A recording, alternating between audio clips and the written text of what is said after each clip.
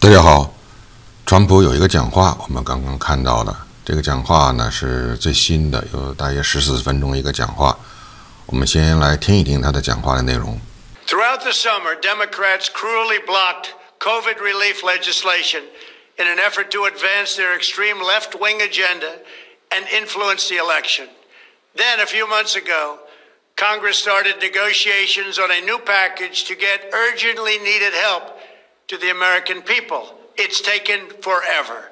However, the bill they are now planning to send back to my desk is much different than anticipated.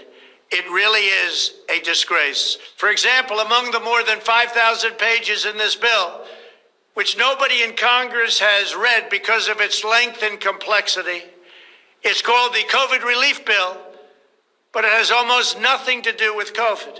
This bill contains $85.5 million for assistance to Cambodia, $134 million to Burma, $1.3 billion for Egypt and the Egyptian military, which will go out and buy almost exclusively Russian military equipment. $25 million for democracy and gender programs in Pakistan. $505 million to Belize, Costa Rica, El Salvador, Guatemala, Honduras, Nicaragua, and Panama. $40 million for the Kennedy Center in Washington, D.C., which is not even open for business. $1 billion for the Smithsonian and an additional $154 million for the National Gallery of Art. Likewise, these facilities are essentially not open. $7 million for reef fish management, $25 million to combat Asian carp, $2.5 million to count the number of amberjack fish in the Gulf of Mexico, a provision to promote the breeding of fish in federal hatcheries, $3 million in poultry production technology, $2 million to research the impact of down trees, $566 million for construction projects at the FBI. The bill also allows stimulus checks for the family members of illegal aliens, allowing them to get up to $1,800 each. This is far more than the Americans are given. Despite all of this wasteful spending and much more, the $900 billion package provides hardworking taxpayers with only $600 each in relief payments. And not enough money is given to small businesses, and in particular restaurants, whose owners have suffered so grievously. They were only given a deduction for others to use in business their restaurant for two years.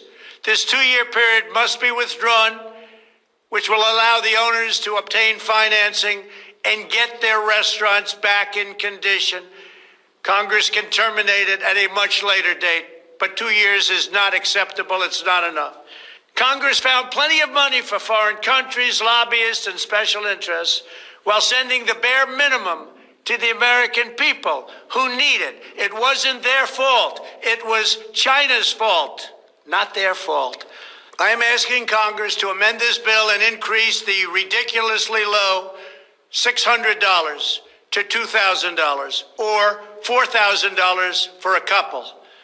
I am also asking Congress to immediately get rid of the wasteful and unnecessary items from this legislation and to send me a suitable bill or else the next administration will have to deliver a COVID relief package, and maybe that administration will be me, and we will get it done.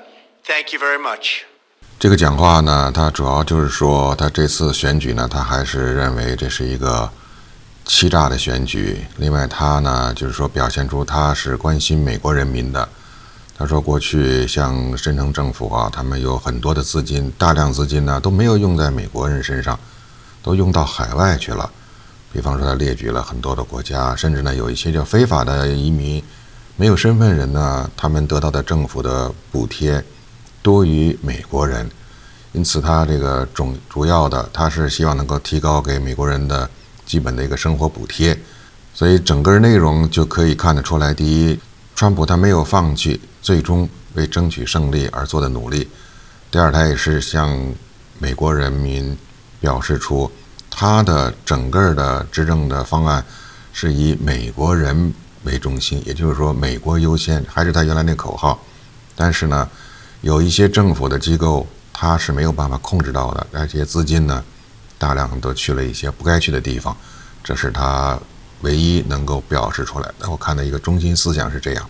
好，后续还有什么事？后续还有什么发展呢？我们再陆续和大家汇报。好，今天说到这儿，谢谢大家，再见。